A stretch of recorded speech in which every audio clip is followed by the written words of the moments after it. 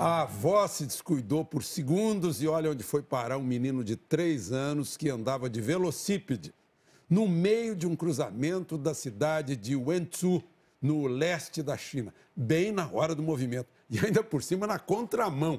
Depois de tirar fino de carros e ônibus, ele entrou nas câmeras de segurança da prefeitura. Veja agora de outro ângulo.